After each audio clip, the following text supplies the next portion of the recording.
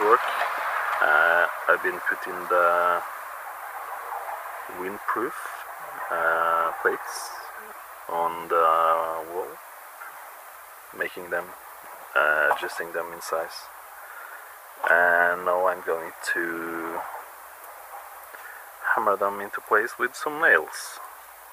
So this is the shortened wall for the bathroom. Uh, Missy is doing some woodwork on the second floor.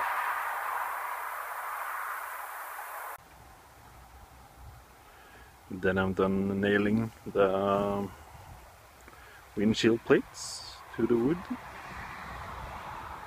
Some small gaps, but I'm mostly happy about it. So this starting to look like a wall, which is quite incredible.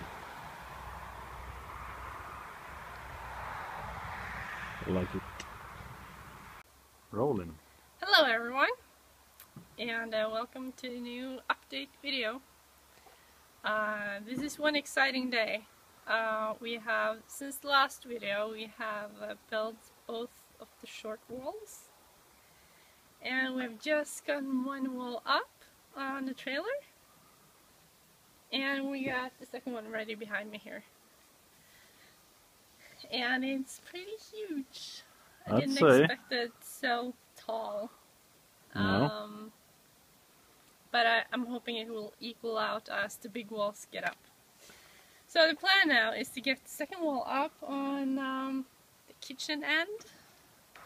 Yeah, that's what we're thinking. Just start building the big walls on the trailer as we go. Yep. Uh, we're probably gonna need some kind of um, Jetpack.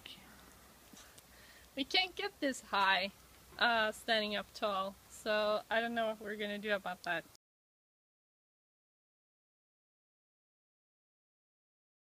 Hi everyone, uh, I have a little update. Uh, we're about to uh, put on the floors uh, in the trailer. You got all the four walls up, and um, well, as you can see, it's just uh, the wooden beams on the long walls and we have wind plates on the short walls and no roof. Uh, there's nothing in the second floor uh, but we have put on the beams for the lofts.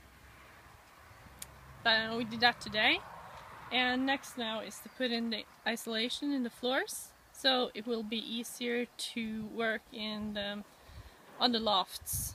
That's the plan.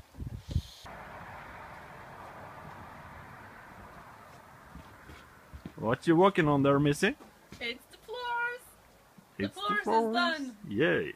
Um, did go quite smoothly actually, except a couple of screws from the inside to the wooden beams on the on the walls. That was quite tricky, and uh, the wires for the lights didn't really come up with a good plan on that, so that kind of kicked us in the ass.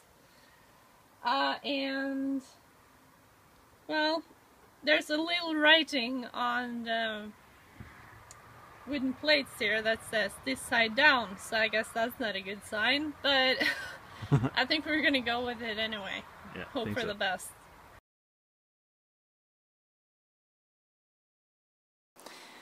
Well, we finished the short walls first. Uh, these. That's a short wall. Yeah. We finished them on the ground and uh, just took them up from the ground with the plates on, the wind plates. And since then we've uh, built these long walls uh, on the trailer. Uh, uh, but both walls seems to be doing fine now, and this seems to be uh, rigid enough. So it's quite solid, uh, and uh, yeah. Uh, another thing is to remember to use support beams everywhere. We have a 80 centimeter window here. and uh, we use support on the top here. As you can see, we have put on the lofts, but it's not ready to work on the lofts yet. Um, we can't stay up there because the trailer is not stable enough yet. And to get it stable enough, uh, we are going to use more of these support beams to make the house yeah, stiffer, if you can say that. Uh, because it's very... It's kind of flexible up there. It's very flexible. You can feel every move you do in the whole house. yeah. So this is um, the overview of how we've connected um, loft. What you see here is the short wall. No excuse me uh, the end beam of the long wall. And then there's the top beam of the long wall. And these are the beams for the loft that goes across the room. And this is the lower beam of the loft here there's going to be beams going up We have connected the beams for the loft with um, steel. Uh, and since these are uh, a little smaller than the beams we would prefer to use, we have put these beams uh, with 30 centimeters distance. And this is a 1.4 meter uh, loft out in the room. And we have used six beams for that. So we're pretty close. Uh, and in between the, uh, these beams, we have the floor. And the floor is going to be screwed down to the beams, of course.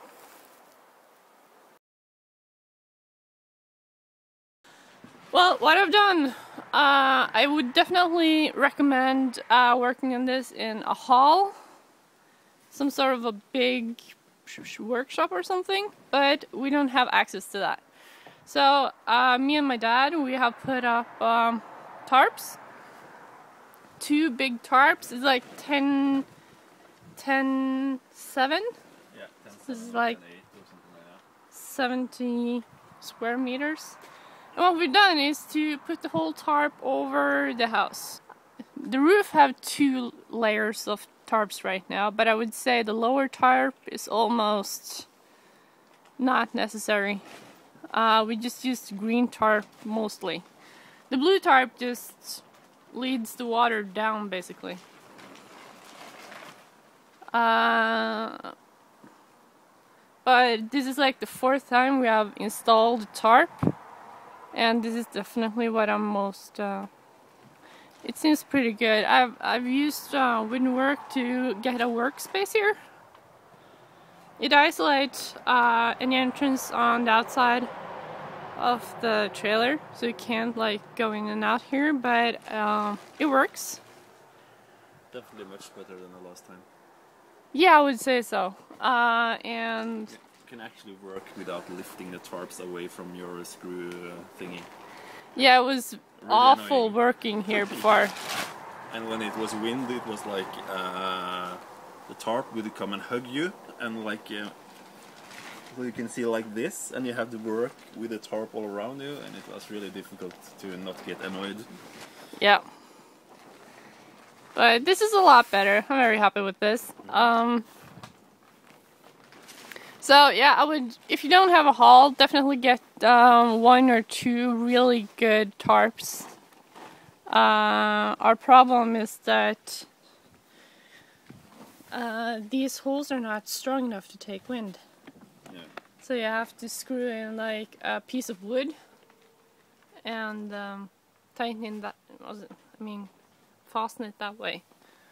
So both short way I fastened a, um, a piece of wood on top of the tarp here, all the way from the bottom and up and on the I don't Jacks. think we have uh, talked about that. Yeah, we didn't talk about that. Um, we forgot to put jacks on before we started on the um, walls. Yeah. And that made the whole building um, Not uh, exactly horizontal, to say the least. yeah, it was very wrong angled. Yeah. So even though my dad said we should put on like uh, the first thing we should do was to put one jack in each corner and make sure that everything was straight and good, uh, we sort of forgot anyways. Yes, we did. And when we finally got to a point that we were looking at jacks, uh, we ended up with a five ton jack. For each corner. Yeah. They are slightly difficult to put in because they're a little tall from the ground and up. It's 45 centimeters from the ground to the metal frame. What we found, these are like standard uh, garage jacks, Yeah. and uh, but they are quite cheap, so we found found them uh, in this shop in Røros, and it's uh, the best choice for us, I think. Definitely, and they can uh, basically just stay there as long as we need to. So we plan to use them later when the house is done. To uh, yeah, They're also surprisingly small Yeah. and very easy to use and very cheap. So I'm very happy with these jacks. But just remember to put them on before you start on the walls. yeah.